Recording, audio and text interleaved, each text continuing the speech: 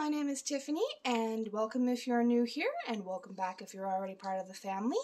Tonight we're going to try that um, Swiss Chalet pot pie that I was talking about if you watched my um, latest food bank uh, haul video. Uh, so I figured it's. I'm been waiting long enough. It's time to try this and see how it is. So we're going to try that tonight. And we're going to dive in and see how it is. So I'll give me a second here. So there you go. If y'all remember, it is a Swiss Chalet chicken and bacon pie. So that's what we're going to do tonight for hubby and me.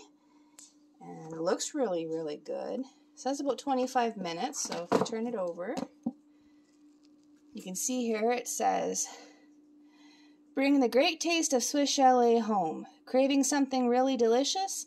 This uh, flavorful pot pie is loaded with chicken morsels and a creamy white sauce, with pieces of real bacon adding a tantalizing smoky flavor. A gourmet delight ready in minutes. So, and it actually is. There's the cooking instructions. So in about 25 to 30 minutes, we'll have a nice pot pie. I don't know if you guys, do you guys have Swiss? Yeah, Swiss Chalet is uh, Canada and U.S. I don't know if it's overseas though or not.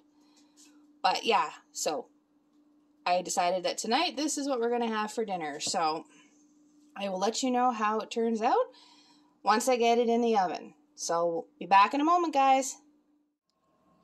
Okay, so I am now sitting down with my pie on my lap here.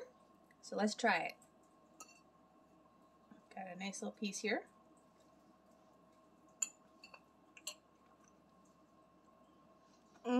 That is so good. It reminds me so much of going to Swiss Chalet with my family when I was growing up. So flavorful. The crust is so nice and cooked very evenly. Now, I had to read the instructions a little bit closer. And since it was frozen, I had to cook it for an hour. So if it's you get it fresh from the store and you don't freeze it, and because I guess it's in the refrigerator section, um, if you don't cook or don't freeze it right away, you cook it for 25 minutes. But since it was frozen, it had to obviously be, and you don't thaw it once it's frozen. So uh, if it's frozen, you cook it for about an hour. But oh my goodness, this is so good. I can't wait to dive into the rest. So I'm going to leave it at that and finish my dinner. And I hope you all enjoyed this little tiny review. And if you haven't already, don't forget to hit that subscribe button and turn on your notifications so you don't miss out on any more fun and family chaos. And uh, have a great night, everybody. We'll see you in the next one. Bye.